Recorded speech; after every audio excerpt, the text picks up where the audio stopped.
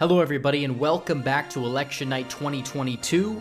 We have a lot of governor elections that are up for grabs tonight that will determine the outcome of many contested states and who will get to lead those states for the next four years or so.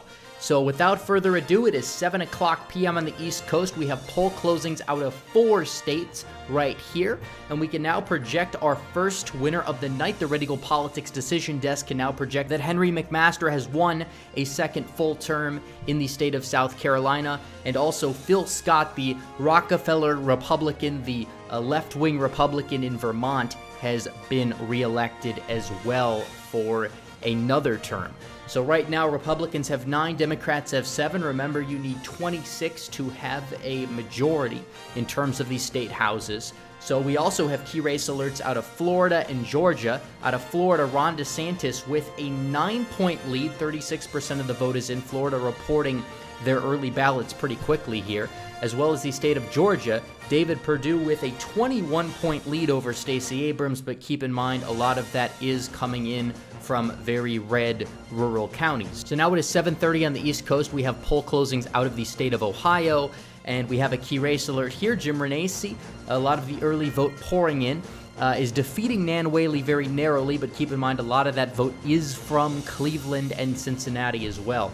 So it is currently 8 o'clock p.m. on the East Coast. We have poll closings out of a handful of states here. And we can get into some projections right now. The state of Alabama, Lynda Blanchard, the former uh, ambassador to Slovenia, who dropped out of the Senate race to run for governor to successfully primary Kay Ivey over her restrictions, now has won the governorship in the state of Alabama. Out of Massachusetts, Charlie Baker, who narrowly survived a primary to Geoff Diehl, has been reelected in the state of Massachusetts for yet another term. Out of the state of Oklahoma, Kevin Stitt has been projected the victor. Uh, in Oklahoma, he will win a second term. Out of the state of Tennessee, Bill Lee has won another term as governor. And we also have some projections on the Democrat side as well. Out of the state of Connecticut, Ned Lamont has won another term in Connecticut. Out of the state of Illinois, J.B. Pritzker has been reelected for another term as governor. Uh, out of the state of Maryland, we have our first flip of the night as Tom Perez has flipped the seat formerly held by Larry Hogan. Uh, Tom Perez, the first flip of the night, the former DNC chair, has won in Maryland. The Red Eagle Politics Decision Desk can also project Dan McKee, the winner of his first full term out of the state of Rhode Island. So right now, Republicans have a 13 to 11 lead over the Democrats here.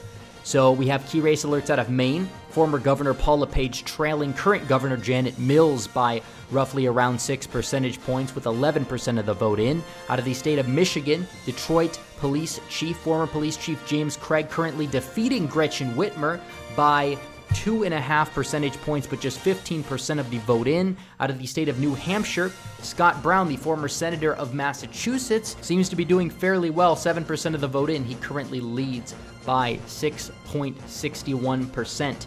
Out of the state of Pennsylvania, Josh Shapiro trouncing Lou Barletta so far, but a lot of that vote in is from the Philadelphia area. Out of the state of Georgia, Stacey Abrams narrowing David Perdue's lead, roughly a third of the vote in, Perdue hanging on by 11 points or so. Out of the state of Florida, 65% of the vote in, Ron DeSantis completely trouncing Nikki Fried so far and it is currently 8:30 p.m. on the East Coast. We have poll closings out of the state of Arkansas, and we now can project that Sarah Huckabee Sanders will be the victor for the governor of Arkansas uh, running. Donald Trump back in 2019 wanted her to run when she stepped down from her press secretary position. It seems like she will be elected governor out of Arkansas. And we have a key race alert out of Ohio. Jim Renacci winning 55% of the vote, and he's up by 11. And we can now project Jim Renacci the winner in Ohio. He successfully primaried Mike DeWine, won the primary by 15 points, and now is, seems to be poised to become the next governor of Ohio.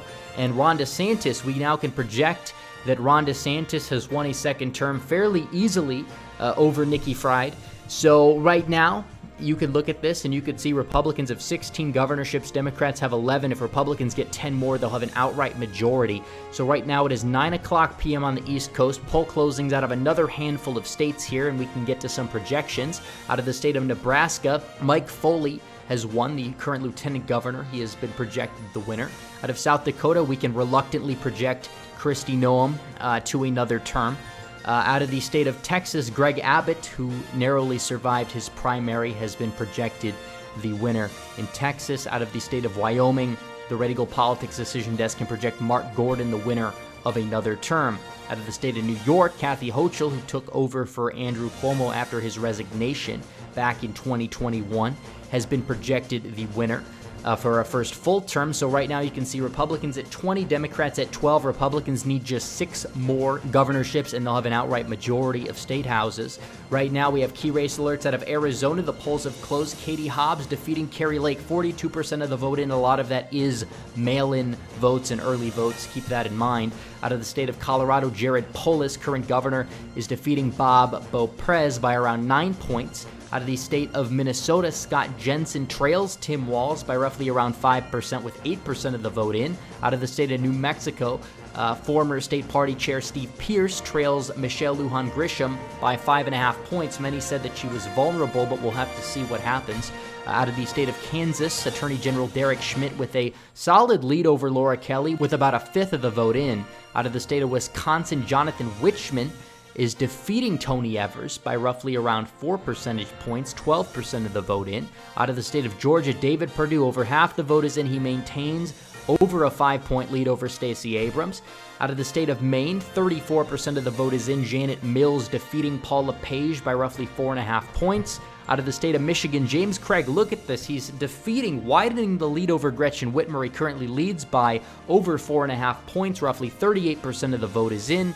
Out of the state of New Hampshire, Scott Brown is defeating Dan Feltes by 8 percentage points, over a quarter of the vote in.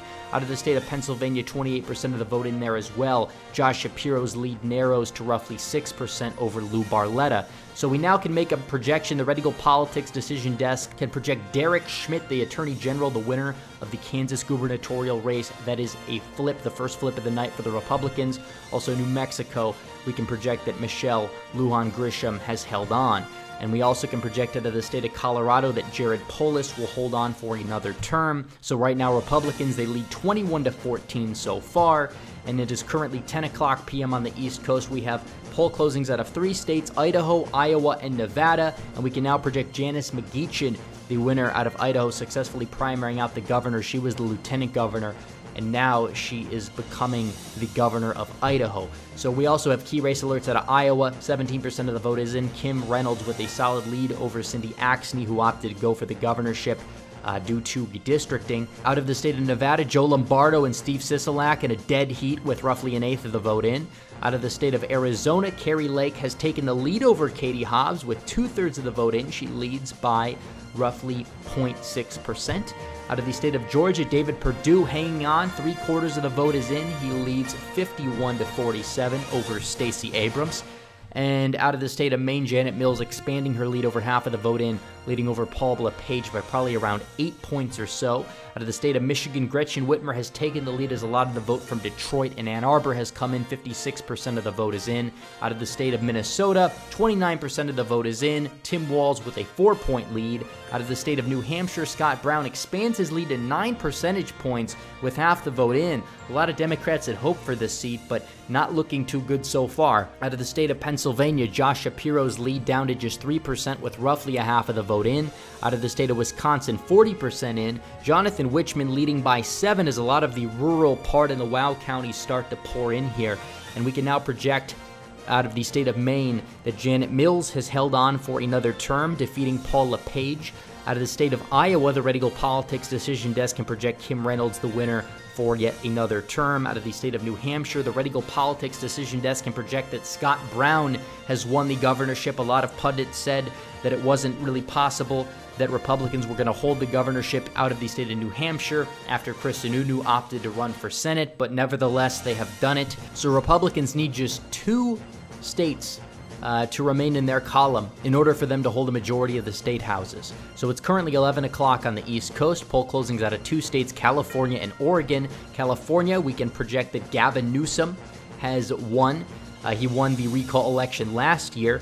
Uh, and it seems as if he will hold on, even though it looks to be by a slightly narrower margin than last year. Out of the state of Oregon, we can project that Tobias Read has won the governorship there as well.